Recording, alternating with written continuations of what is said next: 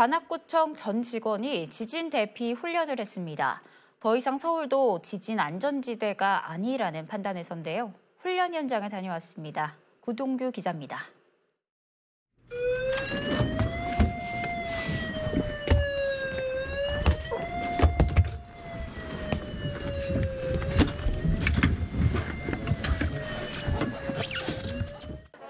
규모 5.4의 지진이 났습니다.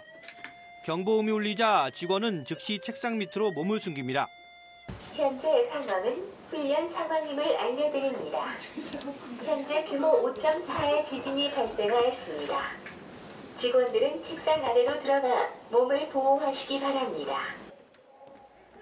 3분이 지나고 대피 명령에 따라 계단을 이용해 구청사를 빠져나옵니다.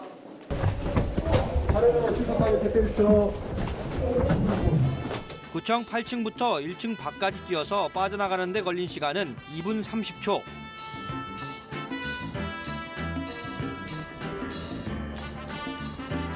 계단으로 대피자가 몰리면서 다소 혼란을 겪었지만 사고 없이 모든 직원이 대피에 성공했습니다.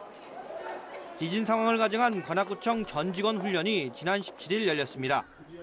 훈련은 구청뿐만 아니라 21개 전동에서 경찰과 소방 등 유관기관과 함께 진행됐습니다. 군은 훈련으로 재해 발생 때 피해를 줄일 수 있을 것으로 기대합니다.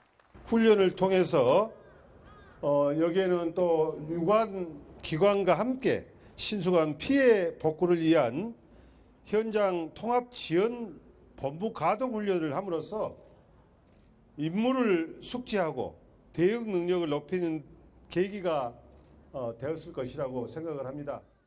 관악구는 주민 지진 대응 역량 강화를 위해 홈페이지와 SNS 등의 주민 행동 요령과 대피 장소 등을 안내합니다. HCN 뉴스 구동규입니다.